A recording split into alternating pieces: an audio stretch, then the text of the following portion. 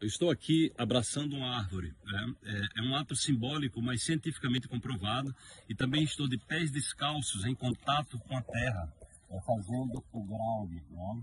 Então, esse simples ato aqui é um, é um ato que é, eu estou liberando é, energias deletérias, cargas estáticas que estão contribuindo para quebrar o fluxo natural do meu corpo, que estão desequilibrando os, as minhas usinas energéticas, é, que são os chakras, de forma que eu libero essa energia e eu consigo é, recompor é, o meu chakra básico, eu consigo limpar o meu chakra básico, eu consigo harmonizar o meu chakra básico, que é tão importante, que é a nossa conexão com a Terra.